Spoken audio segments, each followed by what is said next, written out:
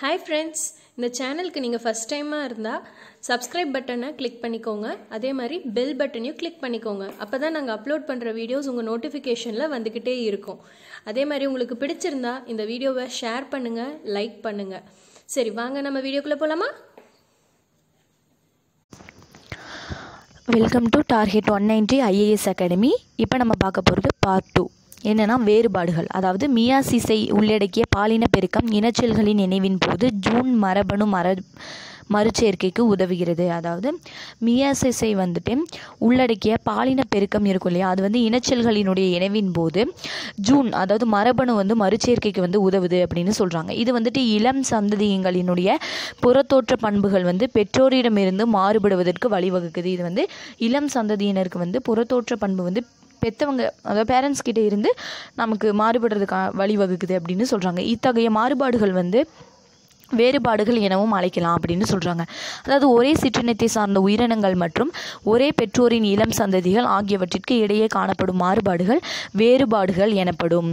இளம் சந்ததியினர் ஆகியவற்றிற்கு இடையே அதாவது இளம் சந்ததியினருக்கும் இடையில காணப்படுற மாறுபாடு வேறுபாடு அப்படின்னு சொல்கிறாங்க வேறுபாடுகளினுடைய வேறுபாடுகள் வந்து மூலப்பொருளாக அமைஞ்சு பரிணாமத்தில் வந்து முக்கிய பங்கு வகிக்குது. வேறுபாடுகள் வந்து மூலப்பொருளாக அமைஞ்சு பரிணாமத்தில் வந்து முக்கிய பங்காக வகிக்குது அப்படின்னு சொல்கிறாங்க வேறுபாடுகள் வந்து இல்லாமல் பரிணாமமும் ஏற்பட சாத்தியமில்லை. வேறுபாடுகள் இல்லாமல் பரிணாமம் ஏற்பட சாத்தியமில்லை அப்படின்னு சொல்கிறாங்க வேறுபாடுகளினுடைய வகைகள் என்னென்னா உடல செல் வேறுபாடு. உடல செல் வேறுபாடு அப்படின்னா இத்தகைய வேறுபாடு இந்த இந்த மாதிரியான வேறுபாடு வந்து ஒரு உயிரினத்தினுடைய உடல செல்களை பாதிக்குது ஒரு உயிரினத்தினுடைய உடல செல்களை பாதிக்குது அப்படின்னு சொல்கிறாங்க இது வந்து அடுத்த தலைமுறைக்கு வந்து கடத்தப்படுறது இல்லை. இது வந்து அடுத்த தலைமுறைக்கு கடத்தப்படுறது இல்லை. இது வந்து சூழ்நிலை காரணிகளால் ஏற்படுறது தான் அப்படின்னு சொல்கிறாங்க அடுத்து இனசெல் வேறுபாடு அப்படின்னா இத்தகைய வேறுபாடுகள் வந்துட்டு ஒரு உயிரினத்தினுடைய இனசெல்களில் உருவாகுது. இத்தகைய வேறுபாடு வந்துட்டு ஒரு உயிரினத்தினுடைய இனசெல்ல தான் உருவாகுது. இது வந்துட்டு அடுத்த தலைமுறைக்கு வந்து கடத்தப்படுது அப்படின்னு சொல்கிறாங்க இதை வந்து முன்னோர்களிடம் இருந்தோ இல்லைனா திடீரென ஏற்பட்ட யாக ஏற்பட்டதாகவும் இருக்கலாம். இது வந்து ரெண்டு வகையாக பிரிக்கலாம். தொடர்ச்சியான வேறுபாடுகள் தொடர்ச்சியற்ற வேறுபாடுகள். தொடர்ச்சியான வேறுபாடுகள்லாம் வந்துட்டு இது வந்து ஒரு இனத்தினுடைய உயிர்களுக்கு இடையே காணப்படும் சிறிய வேறுபாடு. ஒரு இனத்தினுடைய உயிர்களுக்கு இடையில் காணப்படுற ஒரு சின்ன வேறுபாடு தான் இதை வந்து நிலையற்ற வேறுபாடு அப்படின்னும் அழைக்கலாம். இது வந்து ஒரு இனத்தில் படிப்படியாக நிகழ்கிற வேறுபாடுகளின் தொகுப்பினால் ஏற்படுகின்றன. இது வந்து ஒரு இனத்தில் படிப்படியாக நிகழ்கிற வேறுபாடுகளினுடைய தொகுப்பினால் ஏற்படுறது அப்படின்னு சொல்கிறாங்க எடுத்துக்காட்டு வந்துட்டு தோலினுடைய நிறம் ஒரு உயிரியின் உயரம் மற்றும் எடை கண்ணின் நிறம் மற்றும் பல. இது எல்லாமே வந்து வந்துட்டு ஒரு எடுத்துக்காட்டு அப்படின்னு சொல்கிறாங்க அடுத்து தொடர்ச்சியற்ற வேறுபாடுகள் அப்படின்னா இது வந்து சடுதி மாற்றத்தினால ஒரு உயிரியல் திடீரென தோன்றவை தோன்றுபவை. அதாவது சடுதி மாற்றத்தினால ஒரு உயிரியில் திடீரென தோன்றது தான் இது அப்படின்னு சொல்கிறாங்க இவ இவகையில் வந்துட்டு இடைப்பட்ட உயிரிகள் வந்து இருக்காது. இதில் வந்து இடைப்பட்ட உயிரிகள் இருக்கவே இருக்காது அப்படின்னு சொல்கிறாங்க இத்தகைய அதிக வேறுபாடு வந்து பரிணாம வளர்ச்சிக்கு பயனற்றவையாக இருக்குது இத்தகைய அதிக வேறுபாடு வந்து பய பரிணாம வளர்ச்சிக்கு வந்து பயனற்றவையாக தான் இருக்குது அப்படின்னு சொல்கிறாங்க எடுத்துக்காட்டு வந்து குட்டை கால்களை உடைய ஆண்கான் செம்மறியாடு ஆண்கான் ஷீப் அப்படின்னு சொல்கிறாங்க ஷீப்னா ஆடு. ஓகேவா? ஆண்கான் ஷீப் அப்படின்னா செம்மறி ஆடு அப்படின்னு சொல்கிறாங்க ஆறு அல்லது அது அதிக விரல்களை உடைய மனிதன் மற்றும் பல. இதெல்லாமே வந்துட்டு இதுக்கு ஒரு எடுத்துக்காட்டு அப்படின்னு சொல்கிறாங்க தொடர்ச்சியற்ற வேறுபாடுகளை வந்துட்டு டி விரிஸ் டி விரிஸ் முன்மொழிந்து சடுதி மற்றும் கோட்பாட்டிற்கு அடிப்படையாக உள்ளன. டிவிரிஸ் முன்மொழிந்த சடுதி மாற்ற கோட்பாட்டுக்கு வந்து இது அடிப்படையாக இருக்குது அப்படின்னு சொல்கிறாங்க சடுதி மாற்றம் மற்றும் வேறுபாடுகளுக்கு இடையேயான தொடர்பு. சடுதி மாற்றம் மற்றும் வேறுபாடுகளுக்கு இடையேயான தொடர்பு. என்னென்னு பார்க்கலாம். இதெல்லாம் ரொம்ப ரொம்ப இம்பார்ட்டண்ட் அதாவது பரிணாமம் அப்படிங்கிறது வந்து சடுதி மாற்றம் மற்றும் வேறுபாடுகள் அந்த ரெண்டுமே வந்துட்டு நிகழ்வுகளை உள்ளடக்கியது தான் இது வந்து டிஎன்ஏல வந்து ரெட்டிப்பாதலும் ரெட்டிப்பாகிறப்போ ஏற்படுற பிழைகள் இல்லைன்னா யூவி கதிர்கள் அப்படின்னு சொல்லுவாங்க. அதாவது வேதிப்பொருட்களோட தொடர்பு கொள்ளும்போது அதாவது வேதிப்பொருட்களுடைய தொடர்பு சடுதி மாற்றம் வந்து ஏற்படுது சடுதி மாற்றம் வந்து ஏற்படுது அப்படின்னு சொல்கிறாங்க அதாவது சடுதி மாற்றம் வேறுபாடுகளுக்கு அதாவது சடுதி மாற்றம் வந்து வேறுபாடுகளுக்கு இடையில வழிவகுக்குது. சடுதி மாற்றம் வந்து வேறுபாடுகளுக்கு இடையில வழிவகுக்குது அப்படின்னு சொல்றாங்க. ஒரு உயிரியல் மாற்றங்களை இது ஏற்படுத்துகிறது. ஒரு உயிரியல் மாற்றங்களை இது ஏற்படுத்துது அப்படின்னு சொல்றாங்க. அடுத்து தொல் தாவரவியல் அப்படின்னா தொல் தாவரவியல் அப்படிங்கிறது வந்து ஒரு கிரேக்க மொழியிலிருந்து உருவாக்கப்பட்டது தான் தொல் தாவரவியல். இது வந்து தொல் அப்படிங்கிறது வந்து ஒரு சொல்லினுடைய பொருள். அதாவது தொன்மையான எனவும் அதாவது பாட்னி தாவரவியல் அப்படிங்கிற ஒரு சொல் வந்துட்டு தாவரங்களை பற்றி படிக்கிற அறிவியல் அப்படின்னு பொருள் தரும். இது வந்து தொல்பொருளியலின் ஒரு பிரிவு ஒரு பிரிவு அப்படின்னு சொல்கிறாங்க இது வந்துட்டு பல பல நூற்றாண்டுகளுக்கு முன்னாடியே பூமியில் புதையுண்ட தாவர பாகங்கள் அப்படின்னும் அறியலாம். இது வந்து தாவர புதை அதாவது தாவர புதை உயிர் படிவம் அப்படிங்கிறது வந்து முன்னாடியே இறந்த தாவரங்களினுடைய இல்லைன்னா ஏதாவது ஒரு பாதுகாக்கப்பட்ட பகுதி அப்படின்னு கூட சொல்லலாம். அதாவது புதை படிவமானது அப்படின்னா பல மில்லியன் ஆண்டுகளுக்கு முன்னாடியே மண்ணுக்குள்ளே புதைஞ்சு படிவமானது வந்துட்டு பெரும்பாலுமே தாவர புதை உயிர் படிவங்களாக அதாவது புதை படிவமானது வந்துட்டு பெ ரொம்ப ரொம்ப வருஷமாகவே இது வந்து தாவர புதை உயிர் படிவங்களாகவும் தாவரத்தினுடைய ஏதாவது ஒரு உடைஞ்ச பகுதியாகவும் கூட இது இருக்கலாம். இது வந்து முழுமையாக கிடைக்கிறது வந்து அரிது. முழுமையாக கிடைக்கிறது வந்து அரிது தான் அப்படின்னு சொல்கிறாங்க புதை உயிர் படிவங்களின் முக்கியத்துவம் புதை உயிர் படிவங்களினுடைய முக்கியத்துவம் என்னென்னு பார்க்கலாம். முந்தைய தாவரங்களை பற்றி வரலாறு வந்து முந்தைய தாவரங்களை பற்றி வரலாறு வரலாறு மற்றும் பரிணாமத்தை பிரதிபலிக்கிறது. முந்தைய தாவரங்களை பற்றி வரலாறும் மற்றும் பரிணாமத்தை கூட பிரதிபலிக்குது அப்படின்னு சொல்கிறாங்க அதாவது தாவர புதை வந்து உயிர் படிவங்கள் மூலம் தாவர உலகத்தை பற்றிய ஒரு வரலாற்று அணுகுமுறையை அறிய முடிகிறது.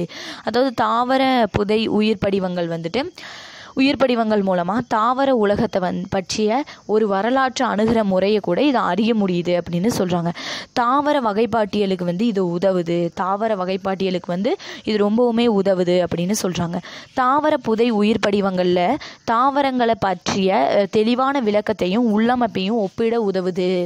தாவரங்களினுடைய உள்ளமைப்பை பற்றியும் இது வந்து ஒப்பிடுறதுக்கு உதவுது அப்படின்னு சொல்கிறாங்க கஸ்பர் மரியா வான் ஸ்டென்பெர்க்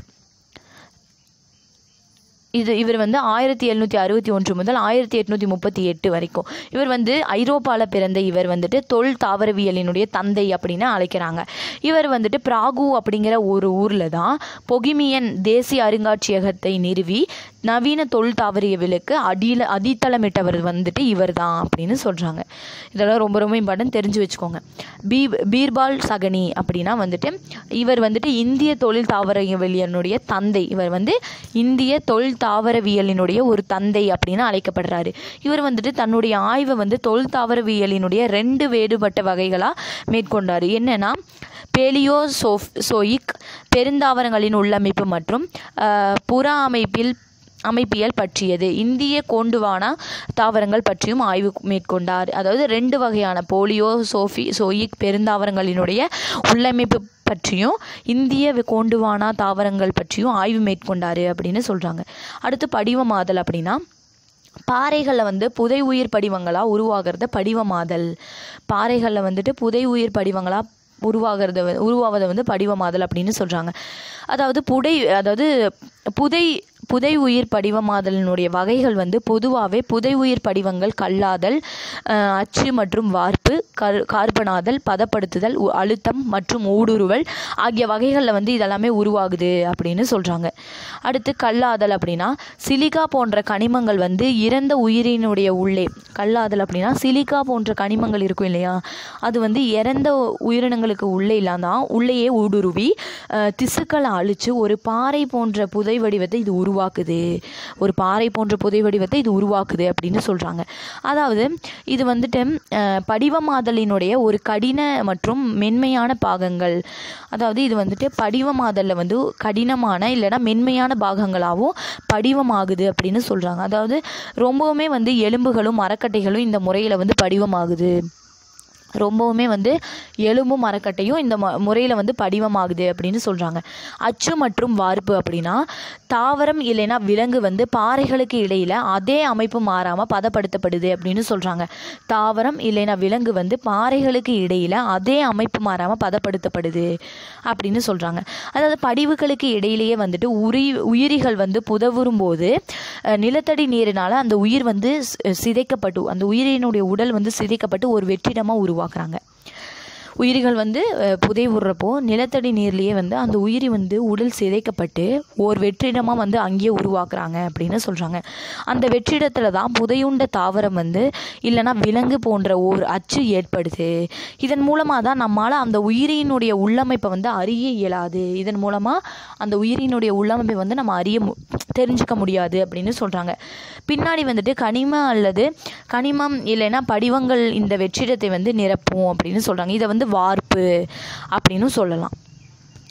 இதெல்லாம் ரொம்ப ரொம்ப இம்பார்ட்டண்ட் அடுத்து பதப்படுத்துதல் அப்படின்னா பனிக்கட்டி இல்லைன்னா மரங்களினுடைய தண்டு பகுதியில் கசியிற பிசின் போன்ற பதியும் அதாவது இங்கே பாருங்கள் பனிக்கட்டி இல்லைன்னா மரங்களில் தண்டு பகுதியில் வந்து கசியிற அதாவது இந்த வேப்ப மரத்தில் கூட பாருங்கள் கம்மு மாதிரி பசை அதாவது பிசின் அப்படின்னு போன்ற பதியும் உயிரிகள் வந்து அழுகி போகாமல் பாதுகாக்கப்படுது அப்படின்னு சொல்கிறாங்க அதாவது முழு தாவரம் இல்லைன்னா விலங்கு இம்முறையில் பதப்படுத்துகிறாங்க முழு தாவரம் இல்லைன்னா விலங்கு முறையில் இதை பதப்படுத்துகிறாங்க அப்படின்னு சொல்கிறாங்க அடுத்து அழுத்திய சின்னங்கள் அப்படின்னா கடலுக்கு அடியில் இருக்கிற இறந்த உயிரினங்களினுடைய கடின உறுப்புகள் வந்து படிவுகளால் மூடப்படுது. அதாவது கடலுக்கு அடியில் இருக்கிற இருந்து போயிருக்கும் இல்லையா அந்த உயிரினங்களினுடைய கடின உறுப்புகள் வந்து கடின உறுப்புகள் வந்து படிவுகளால் மூடப்படுது அப்படின்னு சொல்கிறாங்க படிவு உருவாகிறதுனால தொடர்ச்சியாக நடைபெற்று படிவு உருவாதல் தொடர்ச்சியாக நடைபெற்று புதை உயிர் படிவமாக உ- மாறுகிறது. புதை வந்து உயிர் படிவமாக மாறுது அப்படின்னு சொல்கிறாங்க அடுத்து வந்து ஊடுருவுதல் அல்லது பதிலீட்டுதல் அப்படின்னா சில வேளைகளில் கடின கடின சாரி சில வேளைகளில் கனிம படிவமானது வந்துட்டு செல் சுவரை தாண்டி தான் போகுது. சில வேளைகளில் கடின படிவ கடின கடிம கனிம படிவானது வந்துட்டு செல் சுவரை தாண்டி தான் போகுது. இந்த கனிம ஊடுருவ ஊடுருவலானது வந்துட்டு silica calcium carbonate magnesium carbonate போன்ற கனிமங்களால் இது நிரப்பப்படுது அப்படின்னு சொல்கிறாங்க கனிம பகுதியில் வந்து கரைக்கப்பட்டு அந்த பகுதி வந்து கனிமங்களால் நிரப்பப்படுது. கனிம பகுதியால் கரைக்கப்பட்டு அந்த அப்பகுதி வந்து கனிமங்களாலேயே நிரப்பப்படுது அப்படின்னு சொல்கிறாங்க இதாவது இதெல்லாம் தெரிஞ்சு வச்சுக்கோங்க ரொம்ப இம்பார்ட்டண்ட் வாழும் தொல் உயிர் படிவங்கள் லிவிங் ஃபாசியல்ஸ் அப்படின்னா இவை வந்துட்டு தற்போது உயிர் இது வந்து உயிருள்ளதாக தான் இருக்குது இது வந்து படிவமாக மாறி முன்னோரை போன்று தான் தோற்றத்தை ஒத்திருக்கிறதுனால இதை வந்து வாழ் வாழ்கிற தொல் உயிர் படிவங்கள் அப்படின்னும் அழைக்கிறாங்க. எடுத்துக்காட்டு வந்து ஜிங்கோ பை ஃபைலோபா அப்படின்னு சொல்கிறாங்க ஜிங்கோ ஃபைலோபா அப்படின்னு சொல்கிறாங்க படிவங்களினுடைய வயதனை கணக்கிடுதல். அதாவது படிவங்களினுடைய வயதை எப்படி கணக்கிடுறது அப்படின்னு பார்க்கலாம்.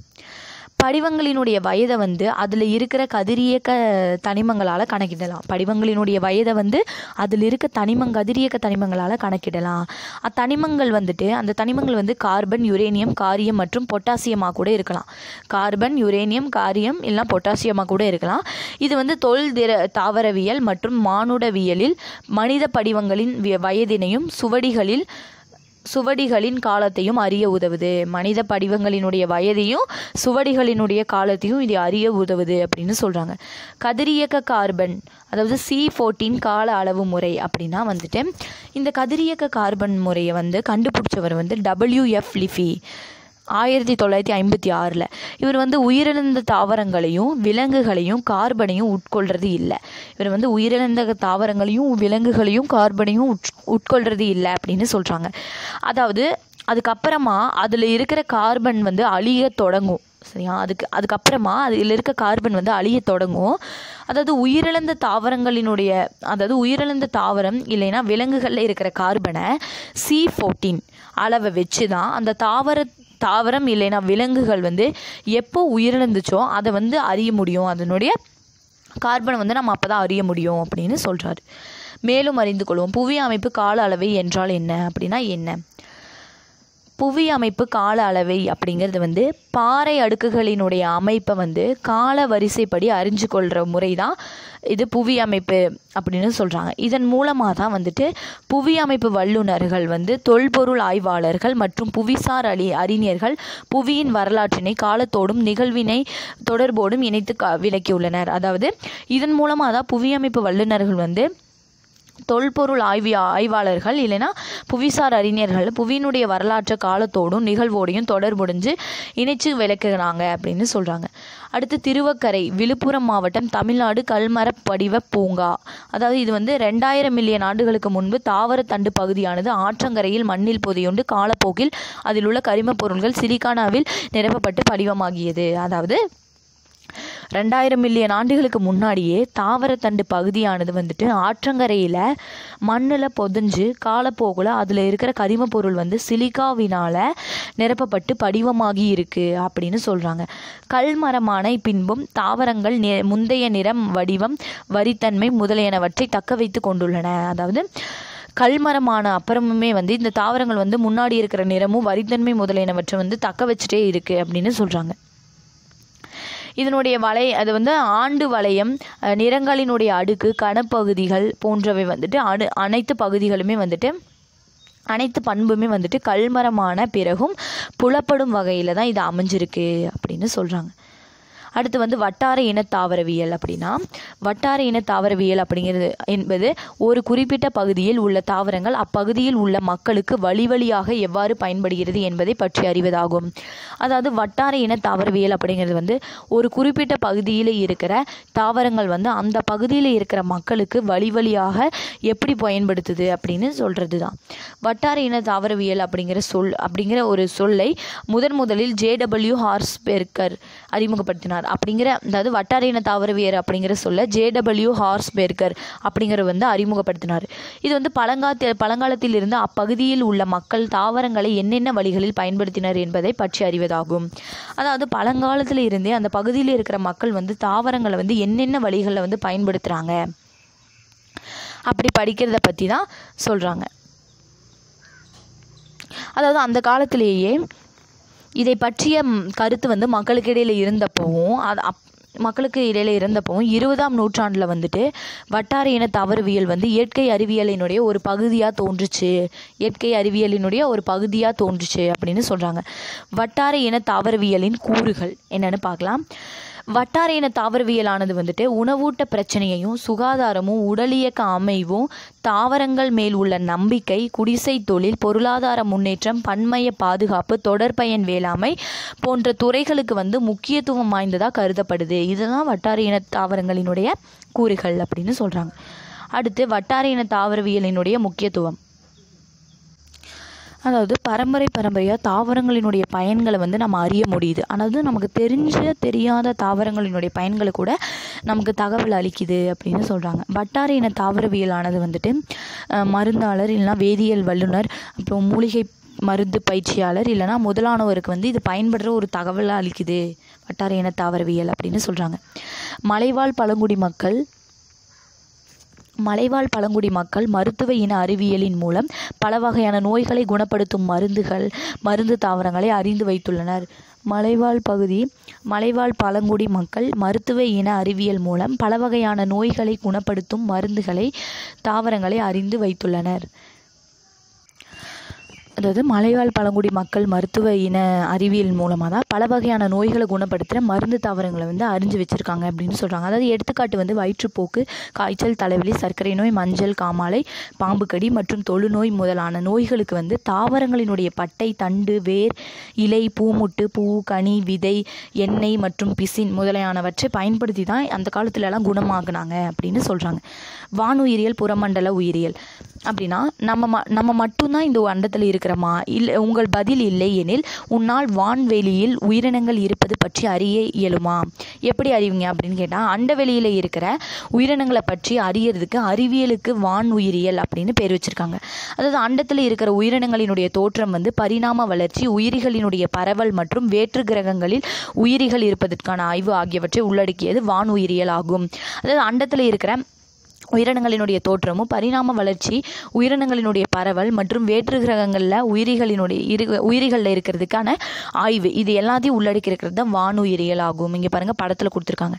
அண்டார்டிகாவில் உள்ள உலர் பள்ளத்தாக்கின் மணல்கள் மணல்கள் மற்றும் கருங்கல்லின் இடையே காணப்படும் நுண்ணுயிரிகள் பாருங்கள்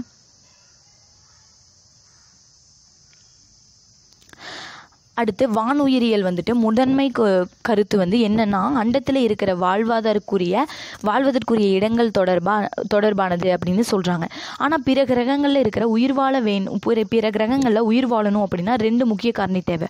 வளிமண்டலத்தில் வந்து தக்க வச்சுக்கிறதுக்கு குறிப்பிட்ட நிறை தேவை.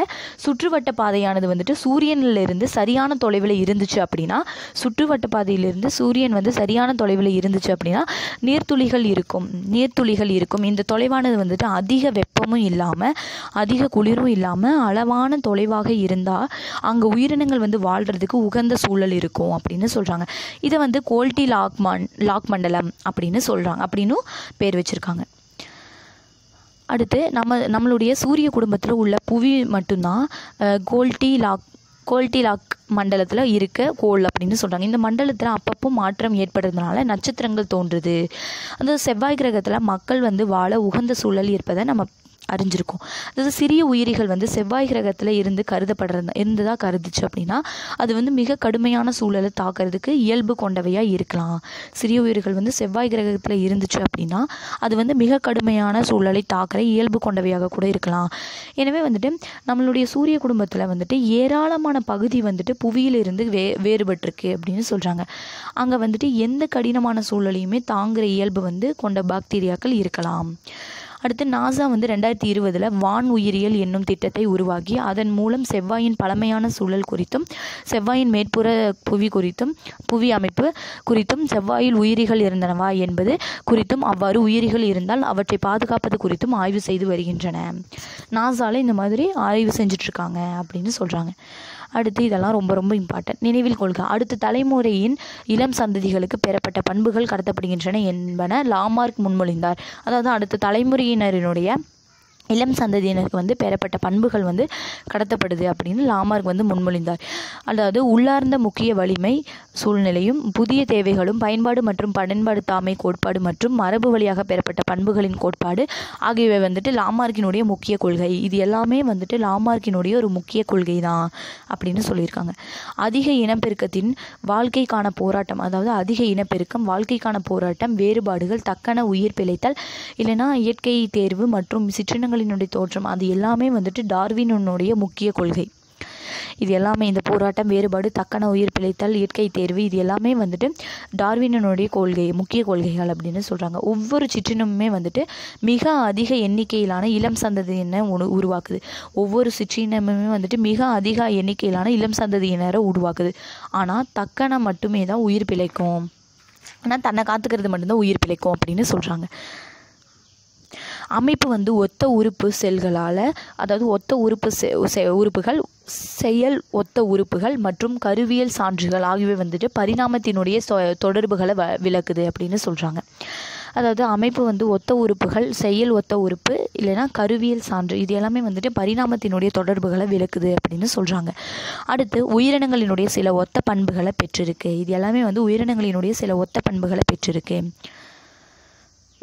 இது ஏன் அப்படின்னா பண்புகள் வந்து ஒரு பொதுவான முன்னோரிடமிருந்து தான் மரபு வழியாக நமக்கு பெறப்படுது அப்படின்னு சொல்கிறாங்க புதை உயிர் படிவம் வந்துட்டு பழங்கால ப உயிரிகளை வந்து புதை உயிர் படிவம் வந்து பழங்கால உயிரிகளை வந்து பற்றி ஆதாரமாக விளக்குது. பழங்கால உயிரிகளை பற்றி தான் ஆதாரமாக விளக்கு ஆதாரமாக விளக்குது அப்படின்னு சொல்கிறாங்க அதாவது பழமையான வாழிடங்களை இயற்கை எட்டி எப்படி பார்த்தது என்பதை பற்றி விளக்குது.